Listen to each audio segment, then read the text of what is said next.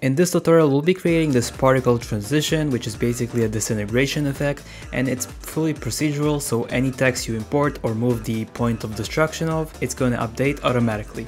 And this also works on logos. Let's get right into it. Let's start off by creating our text and I'm going to center it in my composition. And the first thing you want to do is pre-compose it, move all attributes.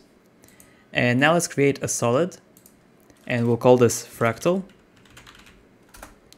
and we'll add fractal noise to it and change the noise type to block.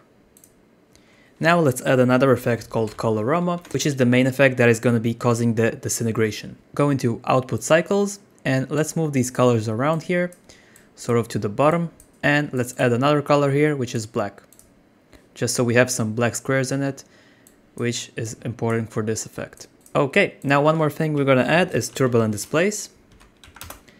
And let's just scale down the size a bit and increase the amount. Okay, this will do. Let's hide this layer and go into our text composition and add the effect shatter. Here, let's change the view to rendered. And basically the shatter effect is an effect that obviously shatters anything you put into it.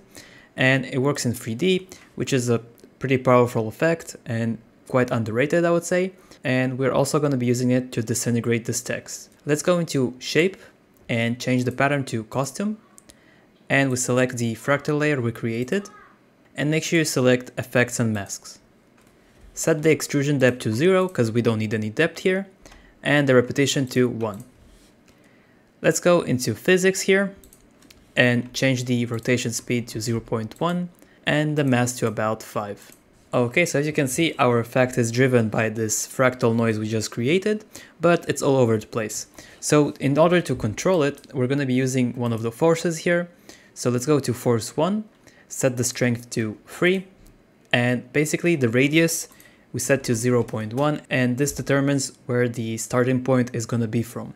So if we move this over here onto the left and hit play, you can see it's to break in there, but stop. And in order to make it continuous, we're to set a keyframe for the radius.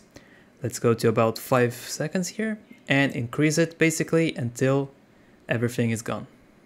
Okay, and now if you play this through, you can see it's continuous and it just keeps breaking until it reaches the end.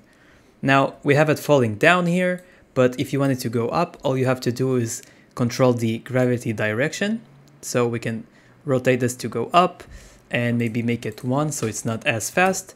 And this way it's just gradually going up and breaking the rest of the text or whatever you have under it. Now another cool thing about this effect is we have a second force. So if we move the second point, let's say over here, and we're gonna do the same, set the strength to 3 and the radius to 0.1, give it the same keyframe here, you can see it's gonna start breaking from both directions, which is just something you can do if you need it. Okay, so this is pretty much the effect. You can always go into your composition here, change the text to whatever you want, and it will automatically update it. You can insert logos, different videos if you want to, and yeah. One more thing to make this look extra nice once you're done is pre-compose everything and drop a pixel motion blur on it, which obviously makes everything look much nicer and smoother. Thanks for watching and I'll see you in the next one.